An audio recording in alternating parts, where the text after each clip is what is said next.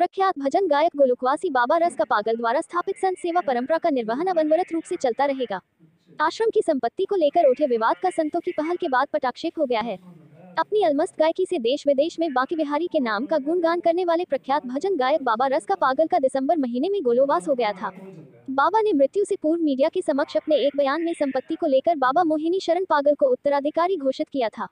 तब से आश्रम का संचालन सुचारू रूप से चल रहा था। लेकिन अभी कुछ दिनों पूर्व संपत्ति को लेकर विवाद की खबरें एक बार फिर सामने आई, जिस पर बाबा मोहिनी शरण पागल ने अपने बयान से विराम लगा दिया है। बाबा मोहिनी शरण पागल का कहना है कि पिछले दिनों आश्रम के संचालन को लेकर कुछ गलतफहमी पैदा हो गई थी, जिसे संत समाज द्वारा पहल कर स्पष्ट कर दिया गया है। आश्रम में बाबा रस का पागल द्वारा स्थापित संत सेवा परंपरा का निर्वहन श्री हरिदास या पद्वती से होता रहेगा। मोहनी शरण दास महाराज जी, अभी कुछ दिन पहले आपने एक तहरीर दी आश्रम पे विवाद को लेकर तो क्या मामला है?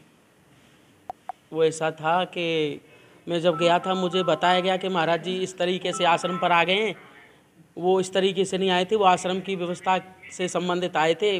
चित्र बाबा हैं, बाबा रतनदास जी हैं, दयालदास जी हैं, उन्होंने बोला था कि विचित्र बाबा हैं इसलिए आए थे कि हम तो यहाँ सेवा से संबंधित कार्य के लिए आए थे, इसलिए उन्होंने चाबी मांगा था तो उस, उसको पुजारी को थोड़ा गलत फहमी हुई तो उसने इस तरीके के बोला हमसे कि महाराज जी, ऐसा तो हमने आके छानबीन करी, यहाँ ऐसा कोई मामला नहीं, हमने जाँच करी, छानबीन करी तो यहाँ कोई ऐसी कोई बात नहीं, हम सब एक हैं, आश्रम से संबंधित सेवा कार्य के लिए आते रहते हैं, बस, और ऐसा कोई आगे विवाद नहीं है, सब एक हैं, सबकी सहमति से ही सेवा चलती रहती है जय जय श्री हरिदास। बाबा रस का पागल के लिए जो परंपरा स्थापित करी है वह कैसे आगे, आगे बढ़ाओगे आप कैसे?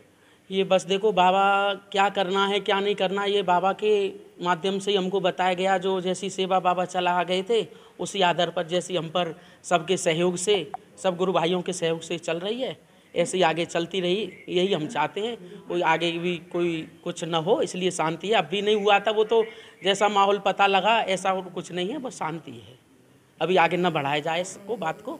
बस हम सभी एक हैं, कोई विवाद नहीं है।